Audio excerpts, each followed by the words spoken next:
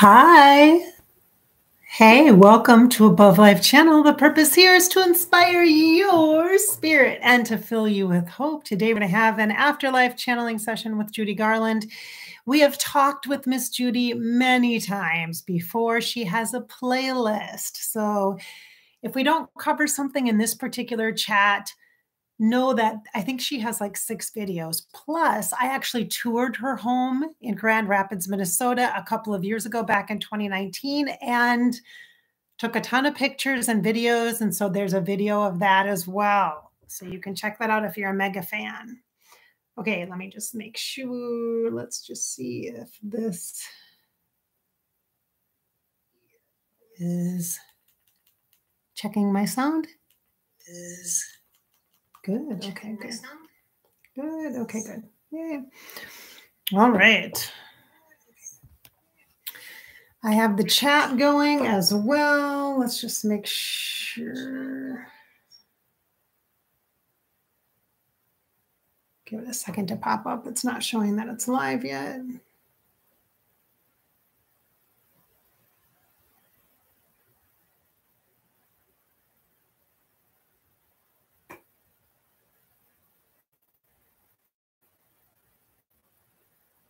Okay.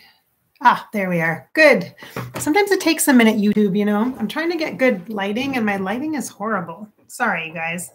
It's just going to be that way. I don't know why. It's just going to be that way. All right. So, um, oh, and thank you to my friend in Maine who sent me this awesome pride shirt. It's got all these flowers blooming on it. It's a blooming shirt. So, thank you for that. Appreciated.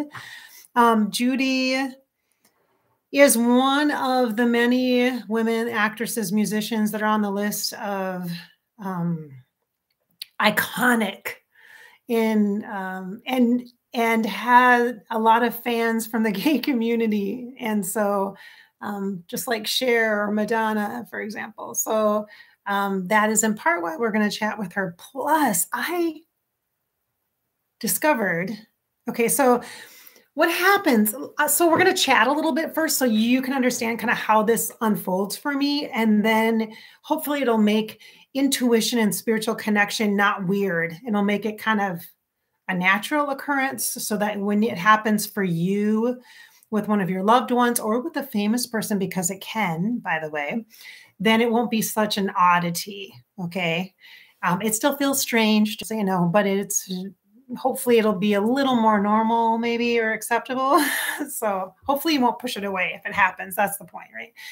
So june um, sometimes there are you know anniversaries or things like that of somebody's death date somebody's birthday or a very specific event in their lives where when i'm tapping into offering to the universe the question of who should i channel and feeling into whatever comes into alignment for me personally as a spirit and as a human, translating that information, sharing the messages, being a messenger.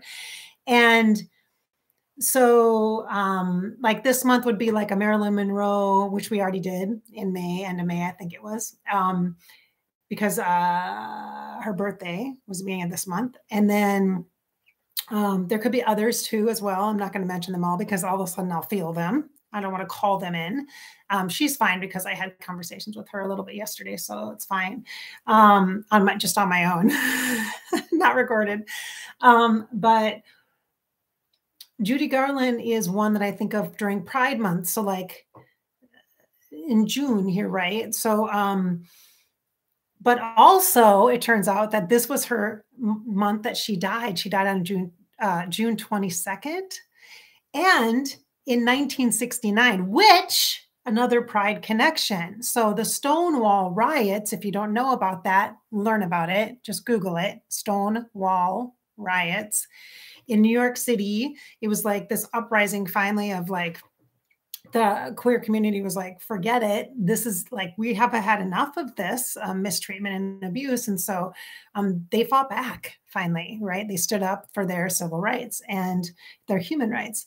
And um, that was kind of what came out of that was eventually um, reforms and, and, and a whole bunch of um, major, lots of work, lots of activism, lots of ad- advocacy, all that stuff, right? And so it turns out that Judy Garland died on June 22nd, 1969, and the Stonewall riots were on June 28th, 1969. So right before the riots.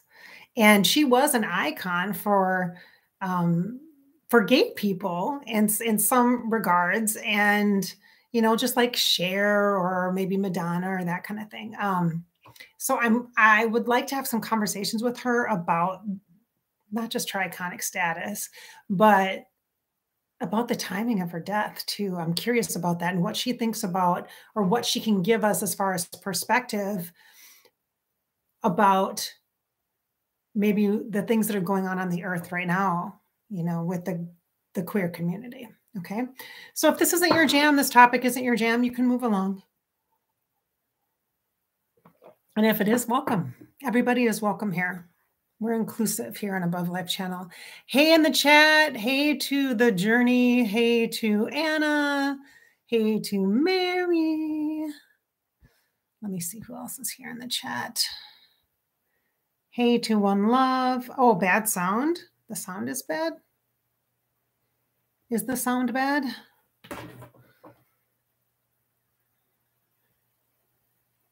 Just a second. Let me check it.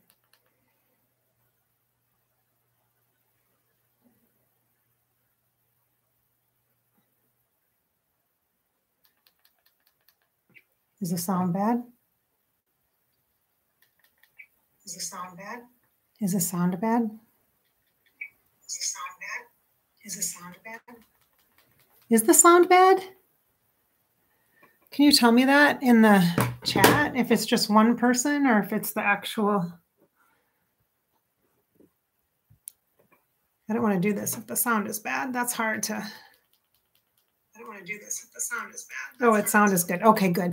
It may have just been a moment and it may have been somebody's um, cell service or what have you. Okay, I just want to make sure. Thank you. Okay, so let's bring in Judy and see what she wants to talk about. I'm going to just be open to what she wants to chat about. Um, I am curious about the timing of her death, though. That is just interesting to me. So let's see. Judy, can you come on in? She says, such a serious topic, such a serious topic. If you give Judy a platform, she will talk your ear off. She has a lot to say. I have a lot to say about politics, she says. I have a lot to say about politics and about just in general, the way people are treated. Okay. Now, I have been personally, Judy, you know this. I've been watching a lot about um, one of one of the YouTubers I like to watch is Adam the Woo. yeah, you guys. I like to watch Adam the Woo uh, because he goes to places I like, like Disney World, Disneyland, um, and some old Hollywood stuff. Like he loves movies and film, and he loves Back to the Future, the movie, and so do I. I love that movie, Marty McFly. Oh my God, Michael J. Fox. It was so great, iconic. And he is really into like filming locations and stuff, and I love that. And it just so happened last week when I needed a little bit of a distraction and a pick me up, I started watching his. Um, he was in. He is in Hollywood, in California, and uh, he did the Universal Stu- Universal Tours backlot like tour and stuff, and then he also went to um, the Warner Brothers Studios, the the ranch actually that I guess is going to be torn down, and he got all sorts of access to film houses like um, set locations like um, the Bewitched House and the um, Christmas Vacation House, the Griswold House. I was like, yeah, I was so excited. I love that stuff. I love it. And walking around like um, the studio where, um, in the Universal Studios, where like Hitchcock's, um, Alfred Hitchcock's uh, um, office was and stuff. You know what I mean? I mean, just in the psycho house and all that stuff. So it's just so cool. And it just really got me supercharged and feeling into the energy of Hollywood, old Hollywood. And So Judy fits right into that, right? And she has strong opinions about Hollywood. She is not, it is not in her taste palette. Like she would much prefer instead of being an actress to just sing and be a musician. Like if you had to do it all over again, is that what you would declare? Um, musicals are fun. Yeah, the dancing and the singing is fun, she said, but you know, that's fine. She said, but I much prefer to sing. I much prefer to sing. And there's a lot of energy, as we all know, uh, your traumatic past. Um, and, and we don't want to downplay that because child actors were treated horrifically um, in Hollywood and back in the um, the times of when you did film um, somewhere over the rain or not somewhere over the rainbow geez wizard of oz and stuff. I mean that was just horrific you know the, the the treatment and the abuse and the drugs and the the way that their bodies were just pushed push pushed and and manipulated and used and stuff. It's just horrific. So we know that. And yet you continued to move ahead and have a career in the life and children and family and all that. And you became this iconic figure. And and I see you every time I see you, you have a drink in your hand. So there's definitely the alcoholic piece is obvious. And she's like a gin and tonic, is what she's saying. Gin and tonic. This is water with lime in it, FYI. It's water with lime. I thought I should make that clear, but um and she she says you can't blame anyone for your own mistakes. And she says, um, she's showing me a lot. She's giving me a lot of empathic information. So I just want to honor and acknowledge that, okay? That there's a lot of empath, empathic, which is feeling, sensing in your heart space, clairsentience. It's where most of you, that's how most of you get intuitive information. This is like all over the place a little bit. It's a little bit scattered. Do you feel that? Kind of like, I feel it like this. Do you guys feel that too? I, have very specific things I want to talk to her about, or kind of like I want her, I want her here because of Pride Month, but I also um there's so much trauma, there's so much pain, like there's so much um recognition of suffering and hardship from her. And yet she doesn't want to be remembered for that. But she has a, a, a huge voice to talk about why, or to talk about like um it's kind of like she's I'm just going to say it like this, but it's not exactly right. Okay, you guys, that she's kind of making an excuse a little bit for like the alcoholic piece, um, which self medicating is a necessity for some people, and you do it in different ways through eating, through um, substances, through exercise, you know, through binging on TV or video games or whatever your thing is, right? And people do all sorts of numbing, right? Or self medicating. So I would love to talk to you, Judy, about because um, she's making me feel like like there's a lot, you guys. It's scattered. There's like four boxes of stuff for her. It's like old file boxes that I can tap into and get information. And so I, there's a lot for her about the uh, being a childhood star that she's very vocal about and wants like people to recognize how horrific the treatment was of kids. Um, and then there's also a piece of this the gay community where she just like she says they just embodied me and it, like accepted me like just embr- embraced not embodied embraced me. And it was lovely it's lovely. And um she just really um she feels a little bit of liz little bit liz taylor like um in regards to gay rights are human rights kind of thing. Um, I'm trying to feel into if she like her own sexuality. I don't feel I I we haven't talked about that. I haven't talked to her about that in her life experience.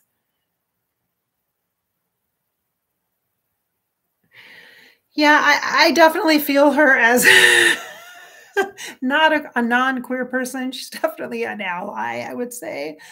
Um, And then she says, she's like literally drinking something and she's like literally saying, I wish I could have been attracted to women. It might have made my life much easier. She says, because men, men were a hardship. So she says, men were a hardship. Mm. Shout out to Maximilian. I just have to say that. Bonjour. Uh, all right. He's one of the um, people, uh, he's a viewer that originally um, encouraged me. I was inspired because of him to start channeling her. So thank you for that. I know you'll be watching. I hope you're doing well. Okay, so tell us what your your politics. Talk to us about politics.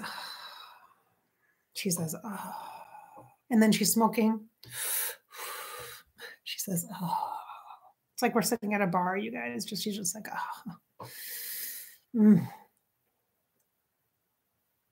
I never really thought of her as a political activist, but um, what can you share about your God, I don't know what to ask her. Let me just feel into her and see what she has to share. It's really tough to connect with her and channel with her right now because she literally feels drunk to me. I'm not trying to be rude. I, I'm never rude. I, I try not to be rude to spirits, but why do I feel you that way? She says, because there's this disruption in the field. There's a disruption. She says, tune in. Tune in. Don't buy into the perspective or perception of how many have seen me. There's an invitation here to go deeper. I can feel that. Okay, so I need to ground myself and feel into her energy.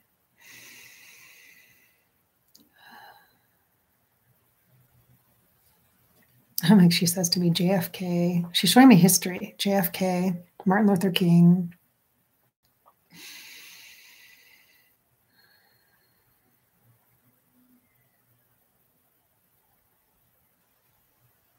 It's so messy, she says. Their history is so messy. It's so messy. It's always white men in power, isn't it? I see not much has changed, she says. I see not much has changed.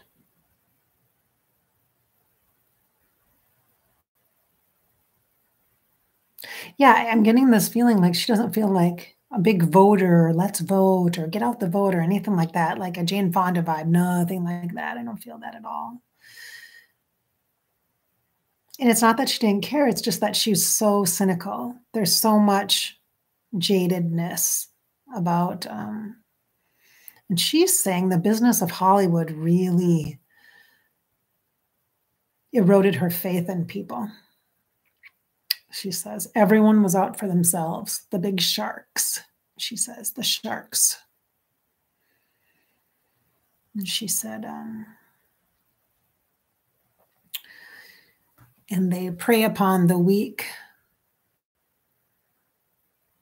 upon your fears. They intimidate you. And she says, the power of the almighty dollar. She says, My mother bought into all of that hook, line, and sinker. She said, Many of us were lucky to get out with our lives. And she said, But what kind of lives did we actually have?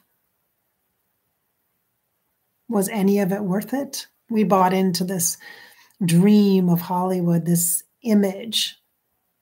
It was a fantasy. She says, Oh, I was fortunate. I had opportunities. And she's showing me touring and singing on stages and things like that. But she says, They own you. When you're under contract, they own you. They own everything about you. She says, especially back in the earlier days when Hollywood was mixed in with the mafia, she says. I don't know much about that. I know a little bit about it. Like, a little bit about like the Rat Pack and stuff, a little bit, but I don't know a lot about it. And she says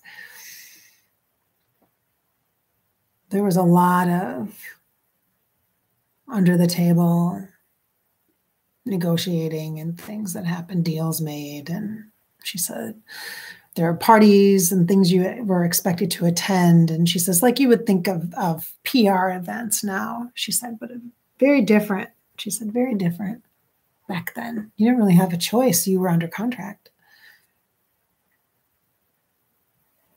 And so she says, it wasn't as glamorous as you were, were it was promoted to be. Mm -mm. No, it was grueling.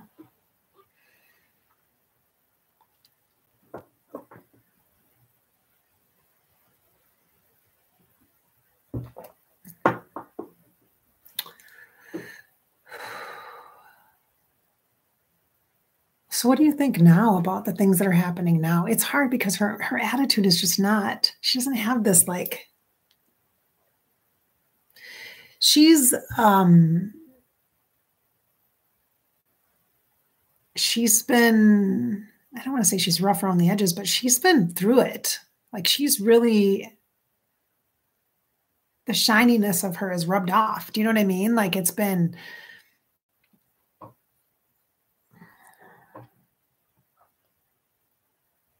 like if I even ask her about politics now or being an activist or any of that, it doesn't feel sincere. It doesn't feel genuine. She just feels very much in a state of healing. She says, Exactly. That's exactly right. It's exactly right. She says, Not all of us that lived our lives as public figures and are in the afterlife have this beautiful, transformational experience and information to share. And she says, It's not that I'm not in the afterlife in a high evolution or synergy with God and cosmic con or like the consciousness of love or oneness. She said, It's not that I'm separate from that, but it's that I come to you today and what you are connecting to me with is the real person. And what people need right now is the humanity of things, the humanness. The humanness.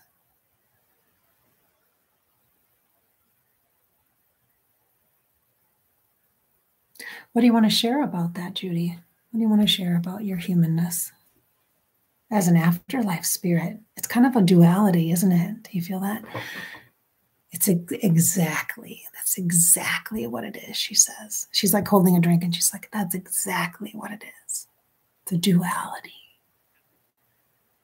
Two things can exist at the exact same time.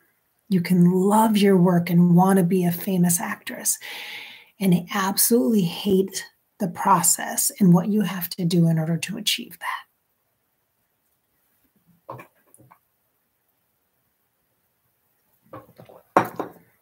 Would you change it? Hmm. Yes. Yes, I would. If I had control over, if I had a different life, if I had different parents and different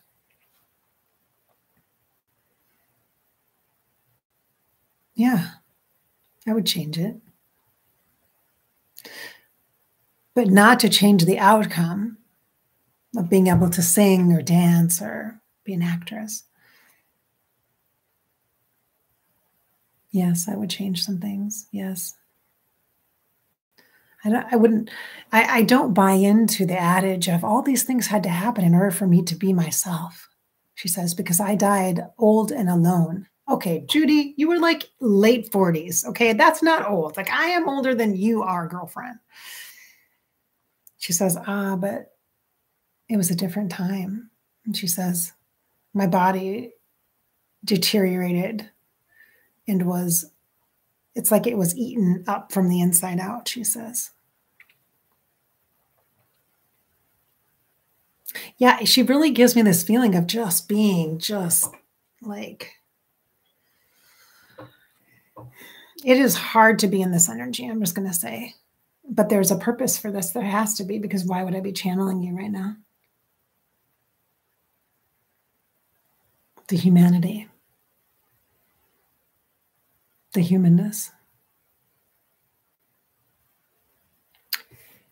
There are many people that have stories and they're real, real life experiences. And it's hard to listen to some of that. And sometimes it seems so outrageous.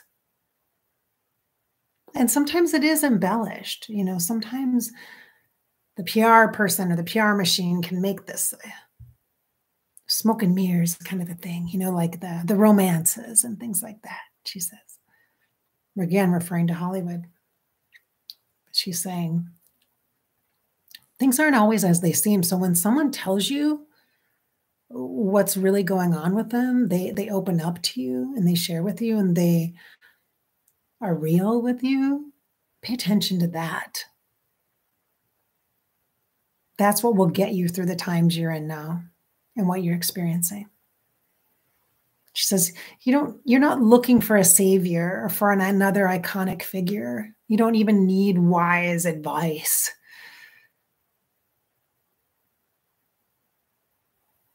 You don't need any of that.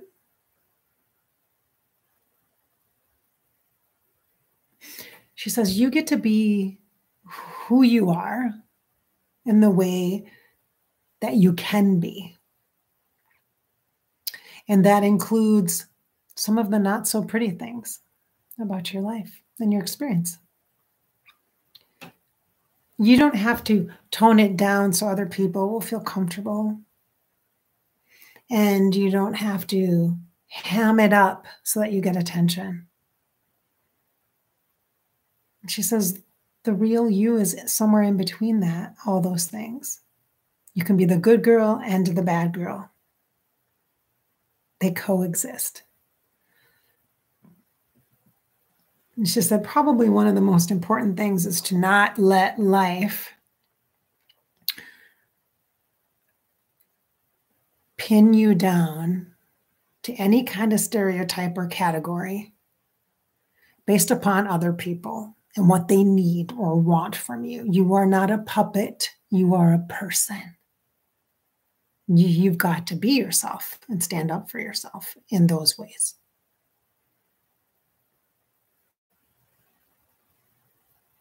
And you'll know when it's safe to do that and when it's not.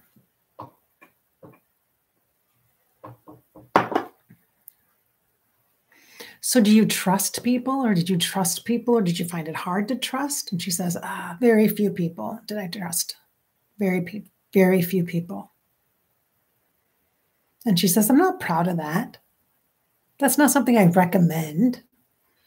Yeah, I would use the word discernment. You kind of kind of feel people out and stuff. And she says, Well, you owe it to yourself to be true to yourself, she says, to to share your story and not water it down or not hype it up. She says, just share it. And you will know based upon how people receive that. If they are people that could be in your life that you could trust to be close to you, whether that be as friends or as business business acquaintances or or romantic partners or lovers, she says. She says, the most important thing I would, she says, the, the most insightful thing she says that I could share would be that I was just so tired of trying to change myself, tweak things in different ways to appease others. And she says, I had so much work to do at the end to just pay the bills. And she says, that doesn't seem right. That doesn't seem right at all. And she says, and I, I will admit that I mistreated my body. And she says, but I learned to mistreat my body from my childhood in the early days of Hollywood. Hollywood taught me how to abuse my body. Hollywood did teach me that. That is the legacy I inherited from being a movie star. And that is just the plain truth, she says. That's the plain truth. Okay, Judy, I'm feeling a little depressing energy here. and I'm like, oh, it's like matter of fact. Oh, Miss Judy. is there anything we can do to help inspire spirit in the afterlife? Because it feels like like talking to you gives me this heavier feeling and this like heaviness. It's like so serious. It's serious. Can we tap into you at a higher vibrational level? Um, not because you're not, we don't appreciate the humanness and humanity of you, but why is this so low, so low, so low? Like I'm, I want us to be able to connect higher and deeper. And she says, "This is this is the come as you are. Be present here." She says, "This is what you talk about. Show up." She says, "I'm showing up." This is the reflection, she says, of the energy of the people who love me. This is how they are feeling. I am holding an energy for the collective. And she's saying, like the queer community and the trans community and the people who are are not appreciated for their uniqueness. And they're not sovereign they're being abused and mistreated at this time. And then she's saying, I relate to that. I feel that. So, as a spirit, she says, I feel that. And that is what you are connecting to. And that is the truth. It is hard. It is hard. That's absolutely right. So if you don't like it, then change it. Change it. Do something to change it. And she says, and that's all I have to say about that. Wow, you guys. Okay. Woo! Can I bring in some Archangel Michael? to bring in and raise up our backbone, our spine, to give us an energy of feeling of a sense of alignment.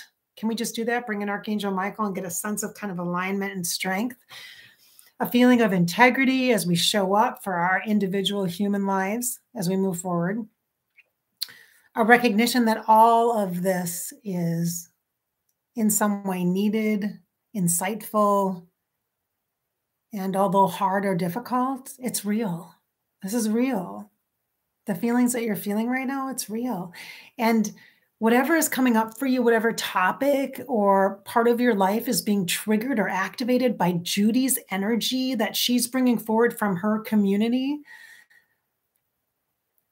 for, for from the afterlife for her advocacy, it's intended to help support you and heal you to allow you the freedom to recognize where your power is for you as a person to make changes for your individual life, for your life on purpose in alignment. So, Archangel Michael comes in to align us energetically. Nice deep breath in our heart.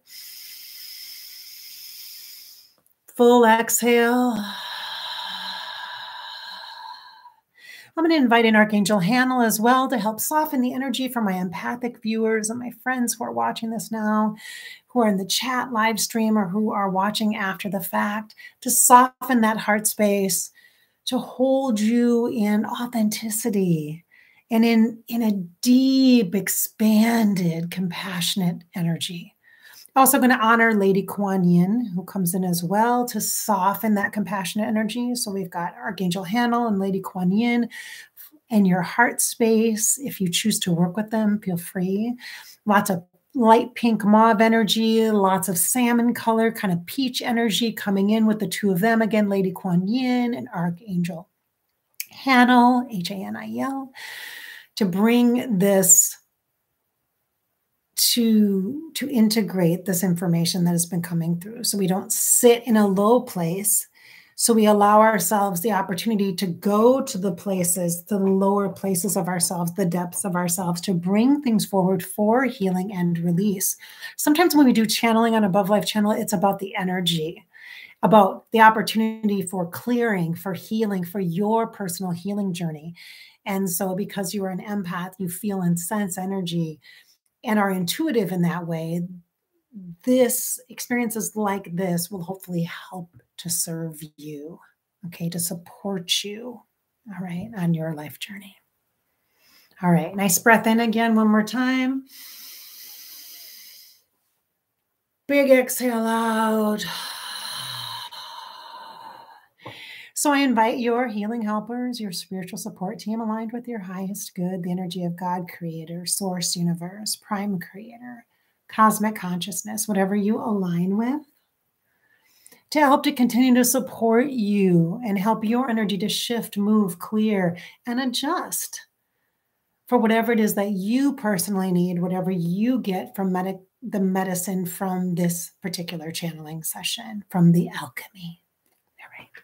So I hope we've inspired your spirit and filled you up with some hope or healing today and encouraged you then to show up for your life because this is your life after all and you get to live it. Just live it. Thank you, Judy. All right, I'm to check in my chat here to say hello.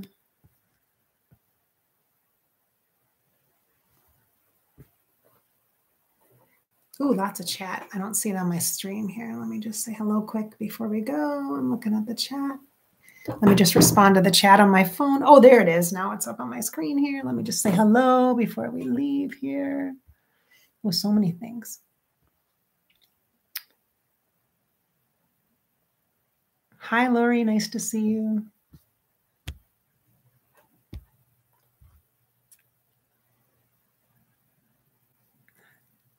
Hi, Lisa from Florida. Hello, Dow.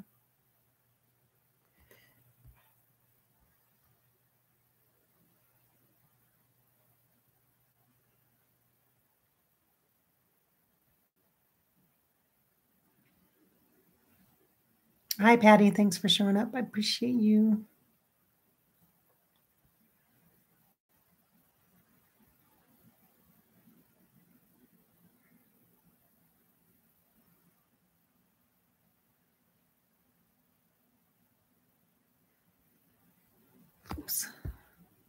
Hello, Aaron. Thanks for joining us. Hello, Daniel. Thank you, Patty. Thank you so much. All right, my friends, thank you for being here as always. I look forward to connecting with you again on Sunday Morning Coffee, the next podcast next week, and also our next channeling session next week as well. Next Sunday is actually a double whammy. We've got Father's Day and a new moon. Ooh, interesting energies bopping around. So that should be a, a fun Sunday morning coffee. Hopefully, we can do a live stream. I'm hoping to, I'm trying to. We'll see if I actually make it on time for that. Hopefully, I will. So, thank you so much for being here. Thank you so much for watching. And thank you so much for supporting the channel. Make sure you sign up for my June 22nd uh, group reading session. I'm doing a, a kind of like a, it's called the Inspiring Psychic Experience. It's a small group. Um, it is a service that I offer. It will be a link in the description of this video. So you can go to the description and you can sign up for that. It's $40 for this one. Um, and we'll do like kind of old school psychic readings in the group and I'll I'll um, connect and share some messages, probably from some angels and some spirit guides as well. It's not a, a celebrity channeling. It's really a much more of a traditional kind of psychic reading style thing. So it's it should be pretty fun. It's right around the solstice, June 22nd at 6 p.m. Central. So you can see, you can sign up for that on the Facebook page above Life Channel, or also it is in the description here on this particular video as well. Okay. Thanks so much, you guys. Thanks for being here.